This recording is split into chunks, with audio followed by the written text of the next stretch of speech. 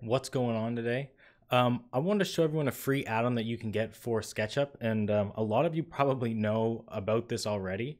Um, but I do think that it's extremely helpful when you want to do landscapes in Lumion because um, if you are using SketchUp, um, landscaping or like getting like kind of like sculpted landscapes can be very difficult. I find um, since uh, I feel like SketchUp kind of starts to struggle with uh, things like triangles uh, when you start to get up to like really big scenes, uh, more so than things like 3ds Max and Blender.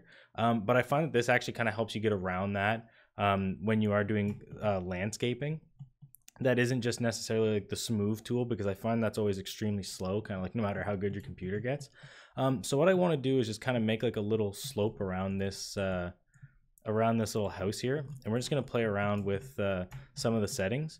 But the first things uh, I want to go through are just kind of some of the, the features of Soapskin and Bubble. So basically the idea is this, is that if you have like this circle, I'll just increase the segments a little bit. I will put up like 50. So I'll delete the center. And then what I'm going to do is I'm going to select all these faces and I'm going to hit skin.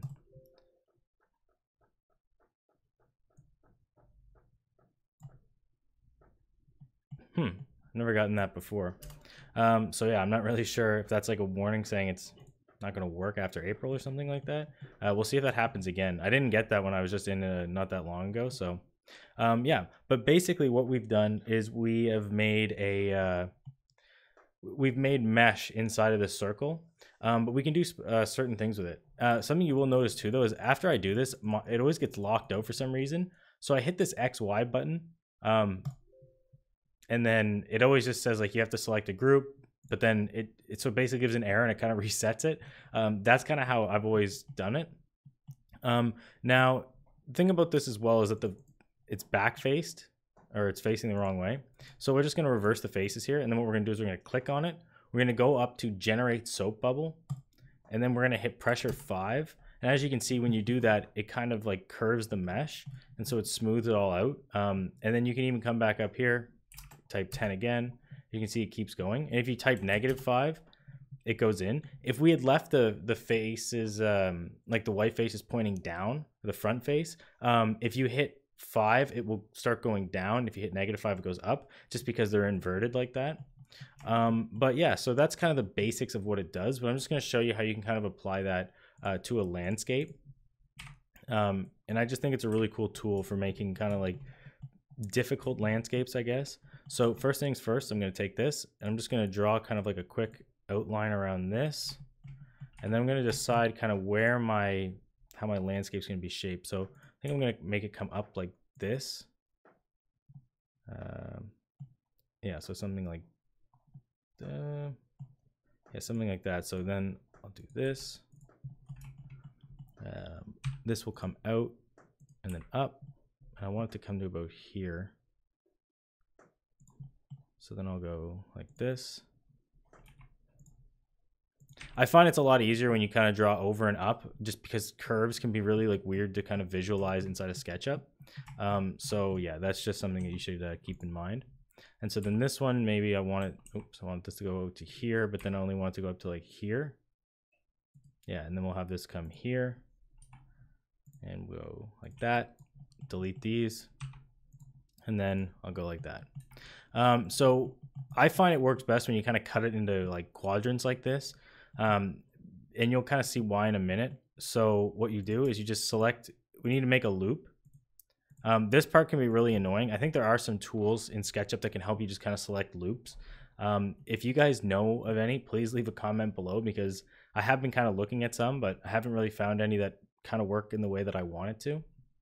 Um, but what we're going to do is we're not going to hit skin. And now you can see in the bottom right, there is something called division. So I think it always defaults to 10. So depending on kind of how big or small your scene is, um, or the area rather, then you're going to see kind of like a different number or like different size face pop up here.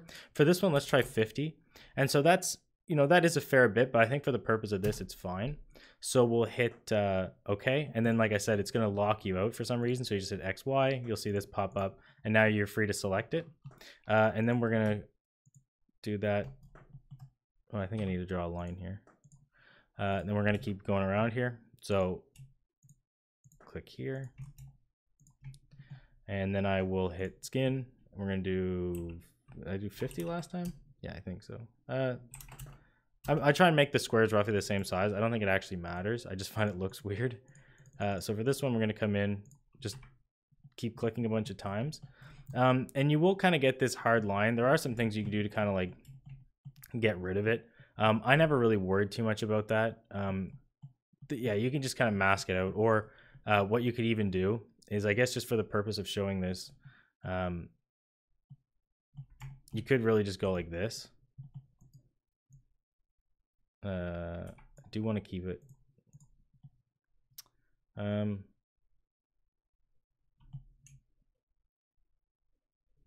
how do I want to do this? So I guess we could just leave this in. Like I was gonna say, you could just combine these two. It doesn't really matter. Um, it, it all just kind of depends on what you want to get. Like if I, I guess I should just show this. It's uh, I am kind of just um, improvising a little bit here, but I do really want to just kind of show this off because it is it is cool just to be able to have like this much control over it. So if we now hit, uh, I think I might have messed up the loop when I did this. So click here. All right, so it worked that time. So yeah, you have to have every single one, like it has to be a completely closed loop or it's not going to work. I wish there was some indicator saying like where it's failing, um, but I guess that's kind of wishful thinking. Um, what is frustrating about using this add-on is sometimes you'll be like doing a big loop and then you'll realize that you like miss like a little corner. Um, so if you are going to use this add-on, I really do recommend that you like kind of use your own models um, because the 3D warehouse you don't know where someone might have like missed an edge or something like that, and you could spend a lot of time trying to fix it. So for this one, let's go 50. Hit enter again, and then as you can see when you do this, it kind of fixes that like that line there. I'm not gonna worry about like worry about it for this part, but you can just kind of get creative and like play around with that. And then what you can also do is like if you just want it to be up a little bit, we'll just say like you know pressure, maybe just go like five, and then that way it kind of like smooths it out a bit more. Um, but you do you might get like kind of like a weird like dip around these areas, but that's not really a big deal. Um, so what I'm gonna do is I'm gonna click back in here and I'm not seeing it turn blue at all, so I'm just gonna draw another one. Uh, guess I have to just draw a couple quick lines around here. And I'll go there. I'll go over there. Just retrace all the lines. I think that should be good. I'm also going to delete.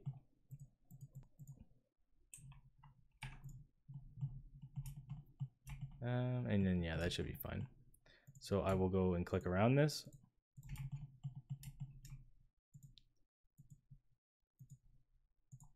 Uh, let's see if this works.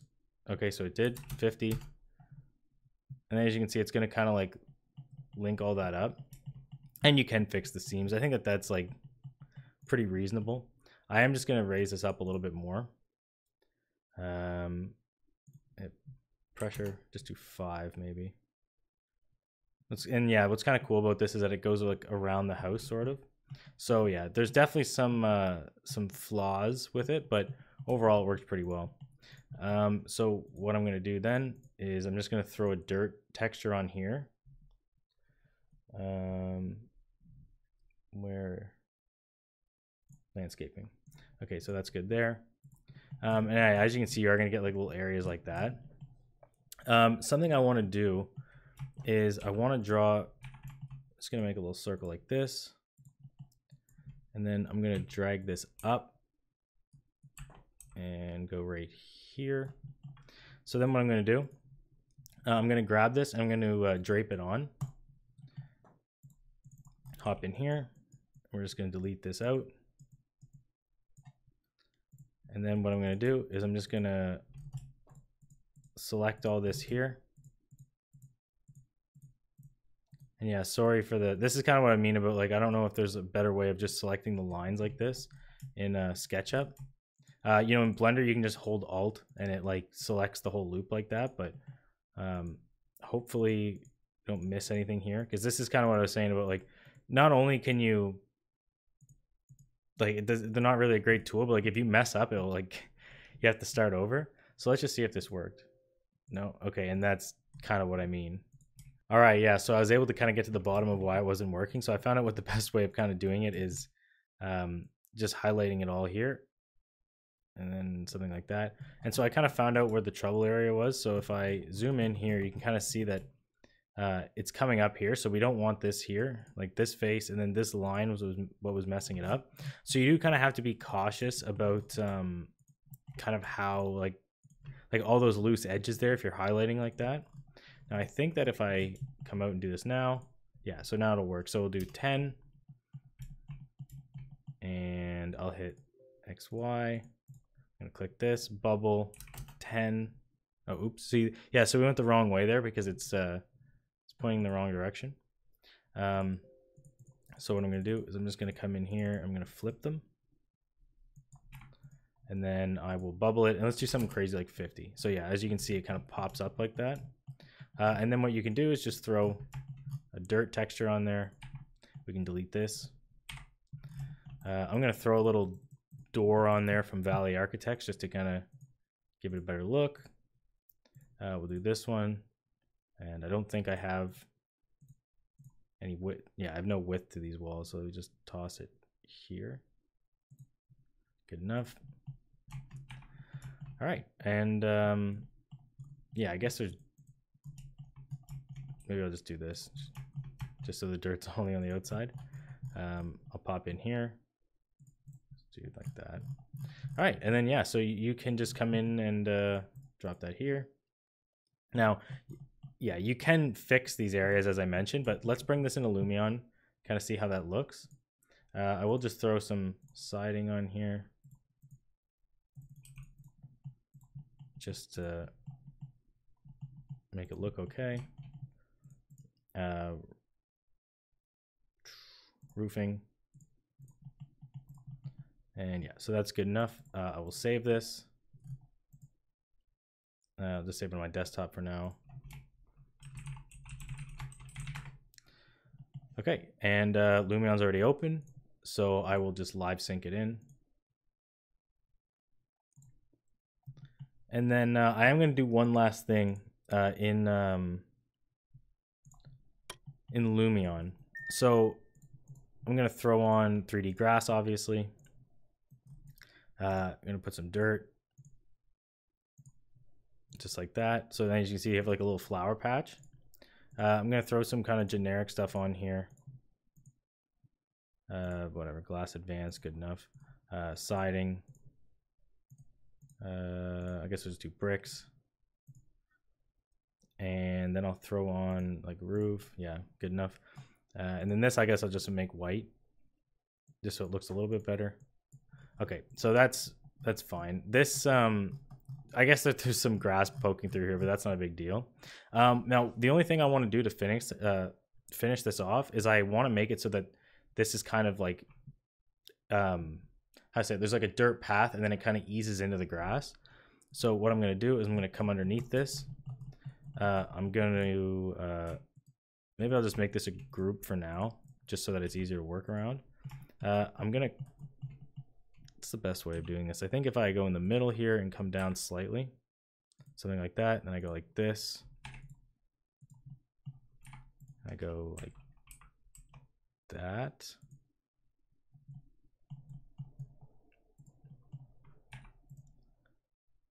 and then I'm just going to finish these loops off. Um, and what this is going to do is it's going to make it so we can kind of like slant it. Um, the dirt's kind of like, it's easing out. I'll just show you in a second how it kind of works. So I'll throw this on and then I'll just, uh, I guess I'll just finish the loop because that's easiest. So go like that. I'll just pop up here, drop the grass in, and then save it and then, yeah, so you kind of get this effect. Um, and what's kind of nice when you do it like this is if you pop back into SketchUp, if you click this thing here, hit M up on the arrow pad and then just move it closer like that, then you can get more of an effect like this. Um, and you just kind of control it through that. And if you want to come in here like change the grass, obviously you can, like the gravity force, that kind of stuff. So these are all the same textures. So it should um, should be affecting this. Um, but yeah, so maybe I will just drag that down a little bit more because that is kind of strong. Something like that. And uh, yeah, so I think that looks pretty good. Um, you can make it so that these aren't like the edges aren't as harsh, but I think that that looks, you know, pretty good just for like a quick little thing like that. Um, I guess that there is actually one last thing I want to show. So if we just take a bunch of trees here, uh, I think this worked when I did it. So if you just go like this, uh, we'll drag them up. And then you go over to here and you say snap to conform to landscape. Then as you can see, the trees now just sit right on the uh, like right on the landscape. And so if you are doing this in uh, Lumion, you can make you know fairly complex landscapes inside of SketchUp, and it doesn't take you a lot of time, uh, and it does work pretty well. Um, and then yeah, it, it's also really nice for making flower beds because you just basically drape the area that you want. Uh, you basically make it stand out, and then you have just a mound of uh, of dirt that actually conforms to the landscape, which uh, is probably one of the best. Um, yeah, it's just probably one of the best tools uh, for using in Lumion. Like, I really don't even think it'd be like like landscaping like this would be possible without it because like I don't know, like the smoove tool kind of works, but I find it's like it to use a grid that's a decent size, it actually starts to really like clamp down on your file. Um, and so I find it's just way easier to use this. So I guess we'll just throw that in. And uh, yeah, so that's the whole tutorial. Uh, I hope that um, you guys found this uh, helpful. Um, if you think that this is a pretty cool add-on, I'd love to hear your comments on it below. Uh, if it helped you I'd also really appreciate if you could uh, like this video and maybe even subscribe to the channel.